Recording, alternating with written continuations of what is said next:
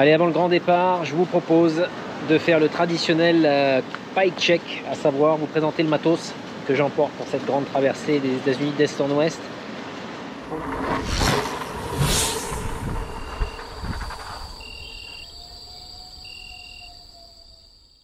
Pour l'anecdote, euh, j'ai un vélo actuellement qui fait moins de 20 kg, c'est-à-dire qu'il pèse, tout compris, avec l'eau inclus, moins lourd, quasiment le même poids que la randonneuse que j'utilisais en 2015 qui était nue à 17,5 kg. Là je suis à moins de 20 kg et je vais vous présenter tout ce que j'emporte avec moi, c'est pas grand chose, mais ça va vous permettre d'avoir une idée de ce qu'on peut emporter pour faire 5000 euh, km. Alors c'est pas dit que j'ai pas des soucis, bien sûr il va y en avoir, il faudra s'adapter, ça fait partie de l'aventure.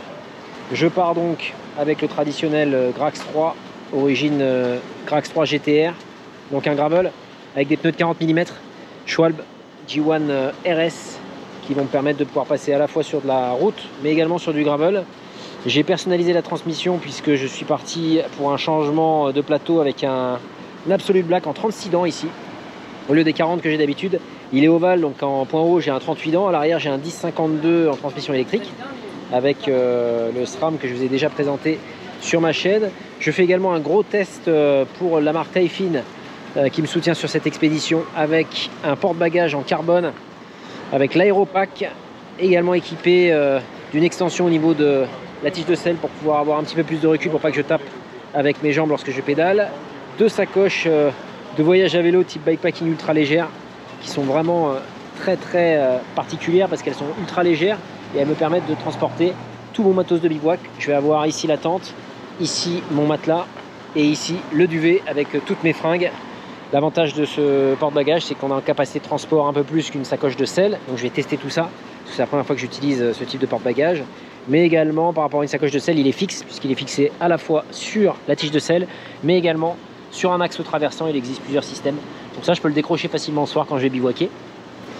Autre point euh, technique, je pars également avec 1,5 litre de capacité de transport d'eau, plus deux flasques qui vont permettre de transporter 1 litre de plus, soit 2,5 litres. C'est pas énorme en termes d'autonomie, mais c'est ce qui va me permettre de pouvoir euh, tenir en termes d'eau. Après, j'ai également euh, une sacoche de cadre qui rentre sur un taille M de la marque Toujours Taifin qui est étanche, avec deux poches, une latérale pour les cartes bleues et une pour le matériel. Donc là, je vais stocker tout mon matos, chambre à air, réparation, en complément du bidon bien sûr porte-outil que j'ai l'habitude d'utiliser et que j'ai renforcé avec une sangle pour pas qu'il tombe. Euh, sacoche en top tube sur la partie supérieure du tube pour pouvoir transporter tout ce qui est téléphone.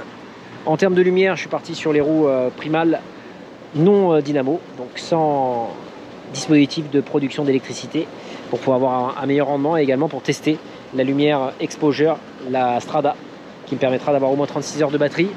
J'ai également à l'avant un autre phare clignotant pour pouvoir être visible la journée. Le Garmin 1050 que je vais tester pour l'occasion que Garmin m'a fourni. Et puis bien sûr le traditionnel tracker Owaka Gen 4 qui va me permettre d'être suivi sur cette trace par euh, vous les amis bien sûr. Et puis à l'arrière un feu clignotant avec un système de fixation directement sur la sacoche qui va me permettre d'être visible en complément bien sûr d'une lumière que j'ai sur mon casque haute visibilité euh, fourni par Ecoy que j'ai surnommé Princesse, clin d'œil à l'ami Juju. Et puis côté sécurité toujours, un grand rétroviseur, le Springtech que j'avais utilisé. J'ai fait une infidélité à Corky pour pouvoir avoir un rétroviseur avec une surface euh, de vision beaucoup plus importante, notamment quand je serai euh, positionné dans les bars, vraiment vers l'avant. Là, ça me permet vraiment de voir ce qui vient derrière sans avoir à me décaler sur l'arrière de la selle. Prolongateur euh, de triathlon pour pouvoir m'économiser les mains et changer de position bien sûr. Voilà en quelques mots sur cette configuration qui je le rappelle fait 20 kg. J'ai un capteur de puissance également pour pouvoir pédaler en me respectant et en faisant euh, très attention puisque je ne suis pas particulièrement entraîné pour cette expé. Ça fait quelques temps que je l'ai planifié mais malheureusement la vie veut que c'est très compliqué d'arriver à s'entraîner à bloc pour ce type d'expé. Donc ça va être une belle aventure que je vais vous partager. N'hésitez pas en tout cas si vous avez des questions sur ce matos puisque la rubrique commentaires de la chaîne YouTube est prévu pour ça. Je me ferai un plaisir d'y répondre et puis bien sûr de faire un retour après l'expédition, une fois que j'aurai franchi le cap des 5000 bornes, en espérant que tout se passe bien. Et je vous dis euh, à demain pour le départ, tôt, avec sans doute une petite surprise, parce que je sens qu'il va y avoir euh, des amis qui vont rejoindre euh, cette aventure, et je vais vous les présenter dès demain. A tout à l'heure.